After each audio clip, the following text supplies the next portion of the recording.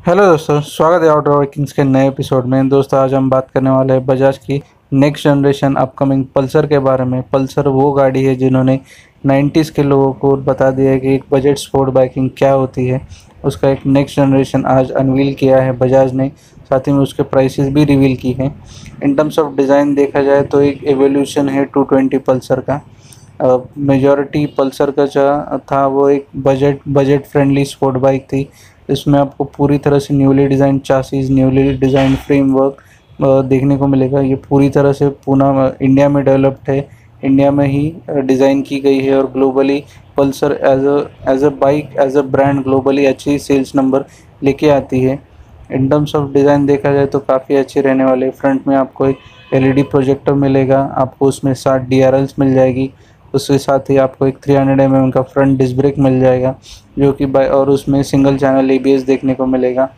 In terms of engine की बात देखा जाए तो इसमें आपको 250 सीसी का इंजन देखने को मिलेगा, जो कि कुछ around twenty four twenty four P की पावर जनरेट करता है और 21 न्यूटन मीटर का टॉक जनरेट करता है। ये इसका फेड वर्जन रहने वाला है, जिसको 220 एफ़ के नाम से जाना जाता है।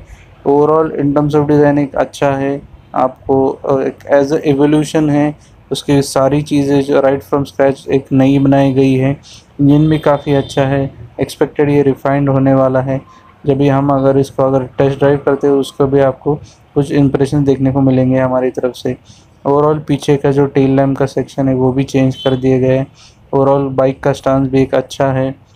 फ्रंट फेयरिंग भी एक ऐसा बिकनी फेयरिंग जिसे कहा जाता है, जो पहले की हीरो बाइक्स में देखने को मिलता है उस तरह से देखने को मिलेगा। ये सेकंड जो वर्जन आपको देखने को मिलेगा, जो कि रहने वाला है एन टू फिफ्टी जो कि सेम प्लेटफॉर्म पे बेस्ड है, लेकिन ये विदाउट फेयरिंग नेकेड वर्जन रहने वाला है, जो कि आपको स्ट्रीट स्ट्रीट ड्राइविंग के लिए स्ट्रीट स्ट्रीट में आपको आराम से एकदम कॉर्नरिंग करने के लिए आराम से यूज़ हो जाएगा, जो 250 है एज आप शॉर्ट डिस्टेंस या आपको average two two hundred three hundred kilometre के टूरिंग के हिसाब से आपको इसे देख सकते हो।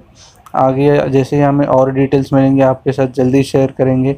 उम्मीद है वीडियो आपको पसंद आया होगा। इस वीडियो को प्लीज़ लाइक और शेयर कीजिएगा और ऑटो चैनल को प्लीज़ सब्सक्राइब कीजिएगा।